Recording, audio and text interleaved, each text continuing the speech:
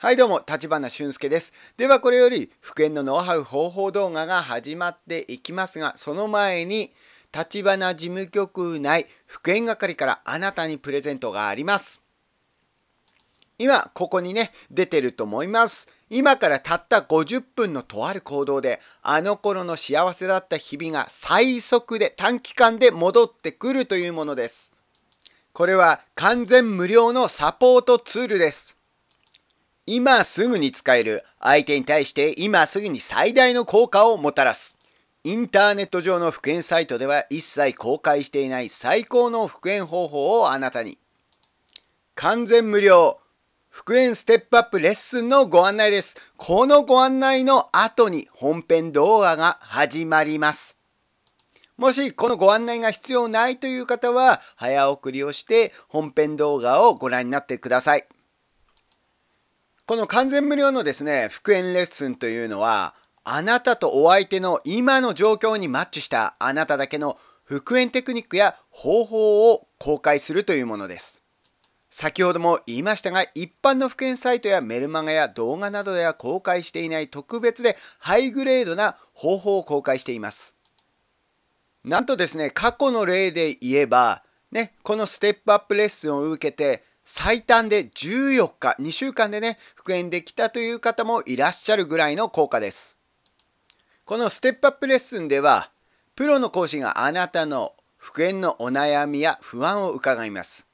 そして、あなたの今の状況を判断します。そして、あなたの今の状況にマッチした短期間で復縁ができるための方法、テクニックなどをあなたに教えています。これは先ほども言いましたが、あなただけに効果がある。あなたの彼、彼女だけに効果がある。あなたのケースにマッチしている。あなただけの復縁方法、テクニック、ノウハウです。しかもなんとですね、このステップアップレッスンの特徴は、冷却期間が全くいらない時短の方法を公開しているということです。しかもなんとですね、このステップアップレッスンの特徴は、冷却期間が全くいらない時短の方法を公開しているということです。この短期間で復縁ができる冷却期間のいらない時短の方法を、この手法をあなたに教えますので、その教わった方法をお相手に使っていただくので、無駄なことや無駄な時間やお相手との時間を空けることも全てがカットされ全国どこの府県アドバイザーさん府県講師さんよりもどこの方法どの方法よりもより早く時短であなたを府県に導いていくというものです。全てがワンランク上の方法だから復縁が予想外に早くできる。相手に早く効果が出る。相手と意外と簡単に仲良くなれる。相手に対する効果や即効性がかなり違います。この効果は完全無料復縁ステップアップレッスンだけです。もちろん男性、女性どちらの復縁も OK です。しかもですね、この完全無料復縁ステップアップレッスンは無制限システムです。ね、普通のその無料相談、あのー、復権アドバイザーさん、復権講師さんで無料相談をやってる方って結構いらっしゃいます。ですが皆さん見ていただいたら分かる通りメールだけでね一つの質問だったら無料ですよというのが多いですよね。でたまにこう何て言うのかな電話とかスカイプでねあの直接その復権したい方のお悩みを伺って答えて無料でね答えてる方もいらっしゃいますがだいたい15分とか20分とか10分とかそんなもんですよね。ですが当社復権係のこの、えーと、復縁レッスンはですね先ほども言ったように無制限です。どんなにテクニックを聞いてもねたくさんの方法を聞いてもどんなにお話をしてもどんなに復縁の講師に悩みを聞いてもらっても何をやっても完全の無料です。これは当社内復縁係だけです。この完全無料の復縁ステップアップレッスンはスカイプ、携帯電話、LINE 電話で利用することができます。よくある復権のご相談といえば、例えばですね、これからどうやっていけば復権できるの？とか、それから今後ですね、彼、彼女にどうやってアプローチしていけばいいの？とか、自分はどれくらいの期間で復縁ができるの？とか、自分の復縁の確率、可能性はどのくらいなの？とか、現在復縁活動をしてるけど、復縁活動自体に行き詰まっていてどうしたらいいの？とか、冷却期間なんて置かずに1日でも早く復縁したいけど、どんな方法があるの？とか、LINE ブロックからの復縁方法を教えてとか、彼、彼女に送るメール、LINE の内容、ネタに困っているから教えてとか、彼、彼女に送るメール、LINE の良いタイミングが知りたいとか、復縁したい彼、彼女に新しい恋人やパートナーがいても、あなたを好きになってくれる方法が知りたいとか、メール、LINE だけで彼、彼女の心を開かせて振り向いてもらうテクニックが知りたいとか、メールや LINE で彼、彼女からデートの OK をもらうやり方が知りたいとか、メールや LINE で彼、彼女と以前のように仲良くなれるテクニックが知りたいとか、彼、彼女からなかなか返信が来ない既読無視をされるどうしたらいいの？などなど、復縁活動をしていると、お悩みが次々と出てきますよね。これはよくあるご相談のほんの一例です。これらのお悩みを当社のプロの復縁講師たちがすぐに解決してあなたのお悩みに合った復縁方法やり方テクニックをあなたへ教え復縁へと導いていきます。相手が冷たくても相手がそっけなくても相手に無視をされていても相手に新しい恋人がいてももう大丈夫です。あなたは当社内復縁係の復縁法を身につけるだけで、あなたの復縁成功へのスピードは加速し始め、頑張らなくてもより早く復縁成功を叶えることが可能なのです。では、この無料復縁ステップアップレッスンでお相手とあの頃のように仲良くなれる日本一の速さをそしてお相手に対して即時速攻で効果のある立花事務局内復縁係の復縁テクニックをあなた自身で今すぐに体感実感してみてください。ではですね、お申し込み方法です。まずこの動画の画面ありますね。そこの下の動画概要欄、動画説明文、あのパソコンで見ている方はもっと見るってなってますけどそこをクリックして開いてください。そうするといろんな復権のための無料プレゼントが書かれてあります。そしてそれと同時に URL が書かれてあります。で見ていただければわかると思いますが、えー、完全無料復権ステップアップレッスンのお申し込みはこちらとか書いてありますよね。そこの URL をクリックしてください。もう一つは、えーと、登録なしでか。登録なしで、えー、とこの完全無料のステップアップレッスンを受けたい方はこちらと書いてあるところもありますよね。ですから、ご自分でどちらがいいか、えー、と好きな方を選択して URL をクリックして次のページに飛んでください。一つはですね、え当社の府県係のページに飛びます。で、あなたの、えー、と名字、ニックネームかです。そしてメールアドレスを入れていただく。そして送信を押してもらいます。そうするとすぐにね、保険係の方から、この完全無料ステップアップレッスンのご案内が来ます。で、そのご案内メールを開いてください。そうすると、えっ、ー、と、上の方にこちゃこちゃこちゃこちゃ、府県係からの挨拶とかうんぬんかんぬんが書かれてあって、一番下の部分に、えっ、ー、と、この、えっ、ー、と、府県レッスンのご案内が書かれてありますから、それを全部読んで、えっ、と、もう一度、えっ、と、記載する部分があるんですね。30秒ぐらいで記載できるので、そこに記載をしていただいて、もう一度府県係に返信って押してください。そうすると、えっ、と、府県係の方で、全てを対応してお返事が来ます。いつの何時ですよとかね。あのそういうお返事が来ますからよろしくお願いいたします。もう一つはその登録をなしで、えっ、ー、とまあ、このレッスンが受けれるというものです。えっ、ー、とそちらの方をクリックしていただいた方はえーと、またページに飛びます。そのページ自体に注意事項とか申し込みの方法とかが書いてありますから、えーとそれを読んで、えーと、申し込みをしていただければ、えーと、登録なしでこのレッスンが受けれるという状態になります。では、ご案内の動画が長くなりましたが、これより府県のノウハウ、テクニック、方法の本編動画が始まります。集中してご覧ください。立花俊介でした。は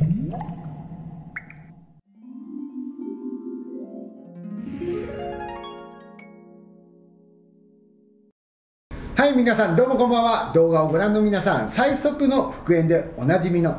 最速最短復縁チャンネル立花俊介と中川敦です。よろしくお願いします。はい、でこれからね、復縁のノウハウ、テクニック、はい、えー、方法などをお話ししていきたいと思います。でまず、えーと、一つだけお知らせがあります、えーと、この動画のね今こう矢印出てます。この下にプロがプロデュースした、えーと、あなたが最速最短で復縁をするためのいろんなプレゼントがあります、えー、と自分のに合ってるプレゼントをね選んでいただいて、まあ、クリックしていただいて、あのー、お申し込みいただければなと思います。プレゼントというくらいなんで完全無料プレゼントです。別に面倒くさい申し込みとかはないのでどうぞその中から自分のね府県の道しるべナビになるものを選んで、えー、っとプレゼント応募をしていただければなと思います。よろしくお願いします。あとはチャンネル登録とねしていただければありがたいなと思います。お願いします。ではえー、っと、はい。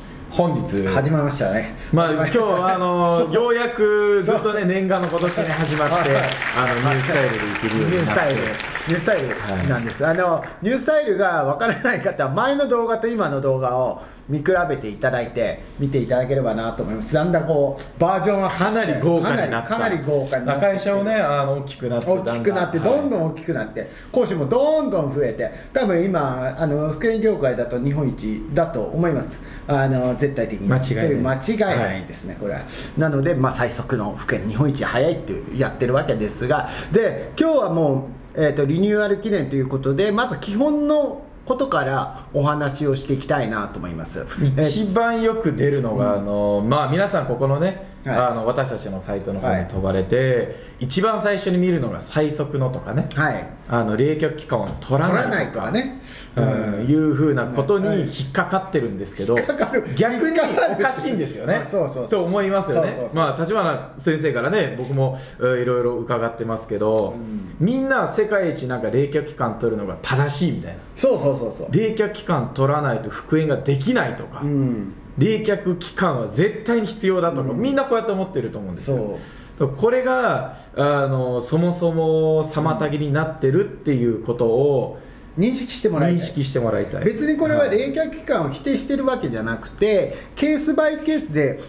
取らなきゃいけない人もいます。でも取らない方がいい人もいます。いいですか、ね、もう一回言いますよ。取らなきゃいけない人。ね。それから取らない方がいい人。2種類いるんですよね。2種類います、うん、はい。あの何でもかんでも取れば、うん、あのいいっていうわけじゃない、うん、取ったことによって起きる弊害もたくさんたくさん出てくる。ありますね、はい、取ったことによってマイナスポイントが出てくるっていうこと。たくさんのマイナスポイントが相手にももたらされてあなたにももたらされるっていうことがあるんですね。だからその冷却期間を取って復縁ができないとか相手とそもそも仲が悪くなったとか相手が結婚しちゃった婚約しちゃったそれから恋人ができちゃったっていうこういう大きななんて壁が冷却期間を取ったがゆえにできている人っていうのもいらっしゃるんですね。これはやっぱりそのもちろんお二人がお付き合いしてる時の関係でも変わってきますし別れ際のやり取り別れ方でもあ取った方がいいよとかとあの取らない方がいいよっていうのが分かれてきます。さすがにこのケースバイケースをこの動画で話していると多分まあ10時間とか話さないといけなくなっちゃうのでそれはまあ無理ですよね。ですからちょっと今日はまとめながら話していきたいんですけどもやっぱりあのよく僕らもね、はい、あのうちのその府県係ではいろんな無料相談をやっています。例えば、はい。ね、日本初のね、はい、あのえっと無料府県レッスンか無料保険ステップアップレッスンこれ日本初の無制限のすごいボリュームの、まあ、復縁レッスンをやってるんです。これ完全無料でね。こういうのもやっていてやっぱり復縁したい方のご相談を伺う機会ってものすごく多い。多分日本一多いのかな。日本一あそこまで丁寧に話を聞いてる会社いないって、うん、ないってみんなが言ってるので。めちゃめちゃ、はい、めちゃめちゃその相談に伺ってるんですけど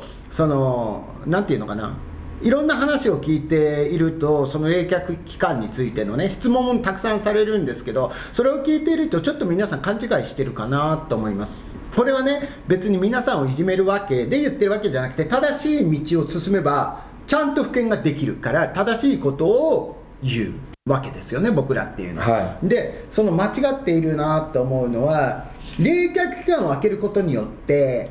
相手が怒っていたりそれからわさわさしている気持ちとかがその開けることによってね相手が落ち着いてくれて相手の気持ちが平らになってくれてまた僕私のことを思い出してくれてちょっと好きになってくれんじゃないの？電話来るんじゃないの？LINE が来るんじゃないの？メールが来るんじゃないの？そのために冷却期間を設けた方がいいんじゃないっていう考え方の人が大半なんですね。もちろんあのー、冷却期間はその自分磨きとかね自分を向上させるためまたさらにいい自分を出していってねそれを磨いて出していくために相手に惚れてもらうため好きになってもらうために取る期間なんだけども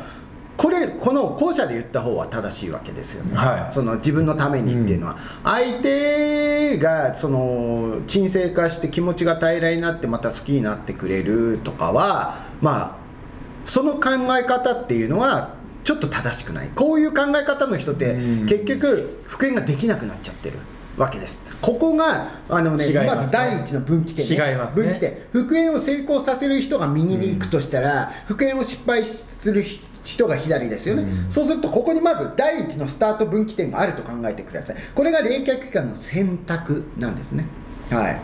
でまあなんでしょうね。要は今一番冷静じゃないのってどっちかっていうとっていうことですよね。はい。そう。そこ。あうまい。分かりやすい。分かりやすい。冷静さをやっぱ書いてしまってるのは、うん、やっぱ追いかけてる側だと思いませんかね、うん、はい、そうですよね。まあ僕たちも過去に経験ありますよ。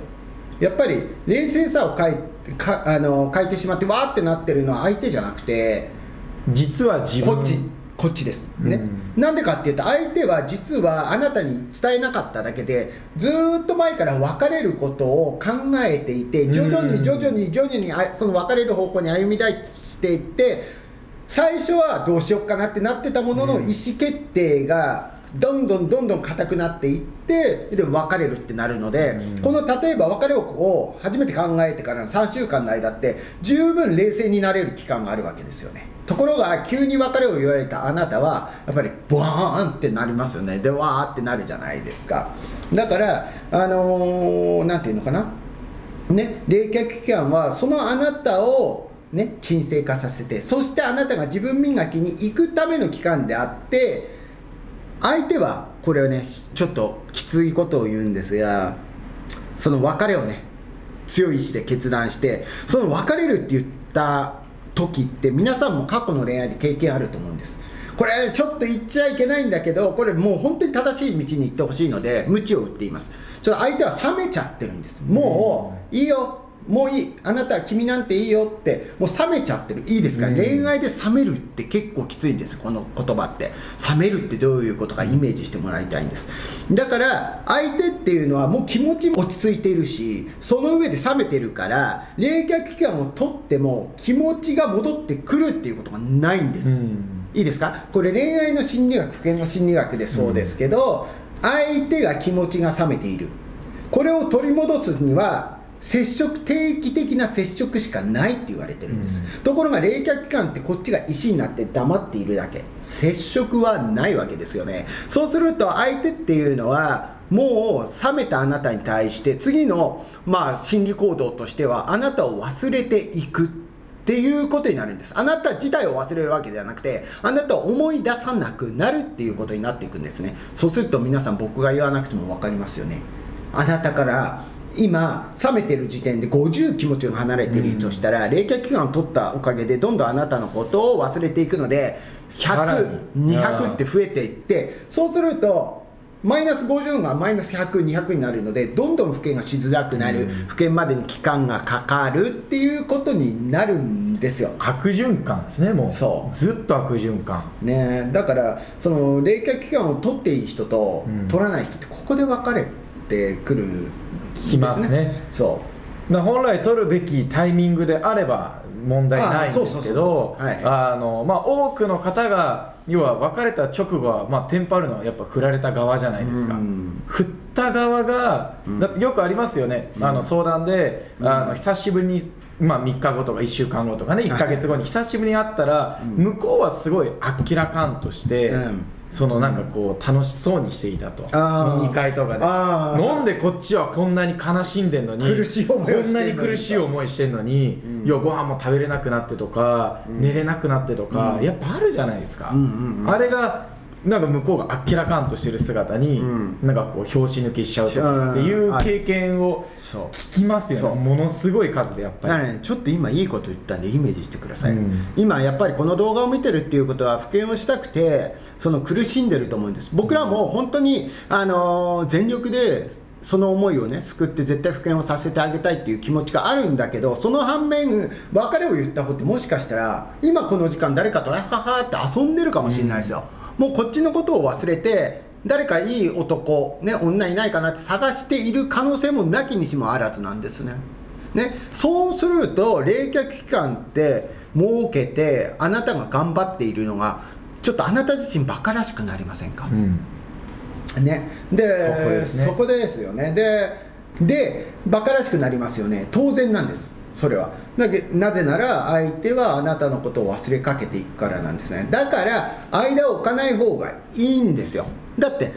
別に喧嘩もしてない別れを言われないカップルでも自然消滅ってあるじゃないですか。経験したことあると、うん、ある人多いと思うんです。自然消滅って接触しないから離れてしまって別れになるんです。接触しないからですよ。これって普遍にも言えるんです。接触しないとダメですっていうこと。簡単に言うとだから相手っていうのはさっきも言ったように別れをものすごい思いで決めてはいその別れの気持ちと葛藤している間にだんだん自分が落ち着いてきます。そしてだんだんあなたに冷めていきます。で別れましょうって言って、うん、ね。で別れた後にもう冷めてるので違う方向を向きます。で走り出しますであなたが自分で黙っていったらどんどん距離離されていくと思います。もうランニングでどんどんそうそうそうそう。これが冷却期間のマイナスポイント、はいはい、本当はわーって逃げたら、はい、あなたも走らなきゃ。いいですか、うん、ね。これ追えば逃げるって言うけどもね。距離を離されて見えなくなるよりはまだ背中が見えるあたりであなたが追っていった方が、うん、あなたが何かの技を出してビュッて引っ掛ければ戻ってくる。そうそう。可能性があるんですこれ普通の話ですこれ、うん、本当に。だからあのねあとはねちょっと、まあ、ひどいこと言いますけどこれね実はね昔のね復縁講師さんが悪いです。これね例えば復縁って無料と有料とどこでもあると思うんですよ。で有料に行けばもっと高い水準の復権の技とかテクニックとか方法とか教えてもらって早く簡単に復権することができるんだけどもこれ悪くてまず復縁講師さんが例えばあなたにあのうちの復縁の、えーと、教室入りませんか？って来たとするじゃないですか。であなたは「あお願いします」ってなったとしますよね。ここでまああなたは契約してお金を納めるわけじゃないですか。そうすると復権講師さんも人間です。まあ、疲れてる時とかしんどい時とか気持ちがめいってる時とかありますよね。そういう時に本当はあなたのケースでは冷却期間取ってはいけないんだけどもうんうんってあなたが例えば田中さんだとします。うんうん田中さん。そういうことね、うん、分かりましたと。じゃああなたは冷却期間半年間取ってください。お金を払ったのにもかかわらず半年間自分磨きみたいのさせられて具体的なテクニック方法は教えてもらえないんですよ。これが一般的な保険業界の主流です。これはね悪しきところで僕らは全然違うんで僕らは冷却期間取らず最初からガンガン教えていくのでまあ別口なんですけどもそのお金を取って要は冷却期間をうん田中さん冷却期間半年間取った方がいいよってあなたは田中さんね。で田中さんはうん取りますって言ってまあ取り始めますよね。でもその半年間の間に他に好きな人ができるとか気変わりがする人もいるわけです。半年もあれば。冷却期間を取ってれば。あなた自身がね。田中さん自身が他の人と出会って好きになってしまう場合もあるんです。ここをね悪徳不健康者狙ってるんです。冷却期間取ってて半年間泳がせておいてその間に田中さんあなたが他の人に気が移ったり、えー、他の人を好きになったり他の人に興味を抱いたりして今お金を払ってくれたから他の人を好きになってもらったらもうこの教室で教える手間が講師側ってなくなるじゃないですか。